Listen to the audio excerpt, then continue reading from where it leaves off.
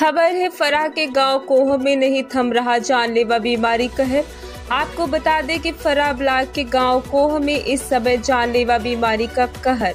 बरस रहा है, पिछले 20 दिनों में 11 बच्चों की दर्दनाक मौत हो चुकी है। गुरुवार को भी 11 वर्षीय राजा पुत्र हरिश्चंद की आगरा के एक निजी हॉस्पिटल में दर्दनाक मौत हो गई। इन हुई मौतों से गाँव गाँव बुरी तरह से टूट चुका है। इस कहर को देखकर ग्रामीण पलायन कर रहे हैं। ग्रामीणों का कहना है कि हमारे नहीं तो हम नहीं। सरकार हमें भी जहर देकर मार दे। ग्रामीण प्रशासनिक कार्य से संतुष्ट नहीं है। आज भी मुख्य चिकित्सा अधिकारी ने गाँव का दौरा किया। कहा कि हर संभव मदद की जाएगी। गुरुवार को गोवर्धन विधानसभा के विधायक करिंदर सिंह ने भी गाँव का दौरा किया और हर संभव सहयोग के लिए कहा।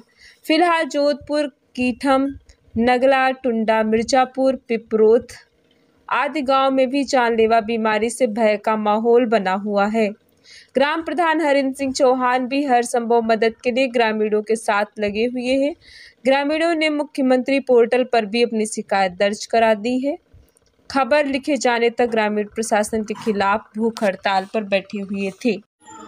पैसा हम पेड कर रही रहे और करेंगे डॉक्टर साहब ने आकर के दवाई लिखेंगे दवाई हम आपको मेडिकल से लाके देंगे लेकिन हमारे बच्चे ने उपचार तो यहाँ दिला दो भैया लेकिन नाक कान के धरे दरोगा जी अब तुम्हें क्या बतावे? स्थिति तुम काम की जाके पता है हमें। हाँ। हमें पता है जो परसों सारे जेवर धर गए नाक कान के परसों घटना हुई है। वो हमें पता है।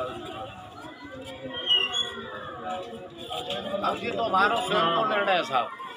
पता है कि मंगलसूत्र और कान के और नाक के सब लग काकरी साहब ने दिया तो सब भाई ने आपको देखो परिवार और बच्चों के लिए सुविधा मिले। हमारे तीन चार है मथुरावर्ती